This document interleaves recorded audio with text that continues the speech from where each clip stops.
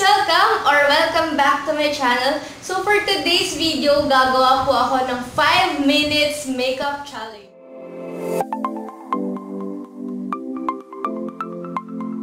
Before I start this video, magti-thank you lang po ako sa TJC Cosmetics for sending me these two shades of lip tint. And isa-swatch ko po for references. This one in the shade Nadine. And ano.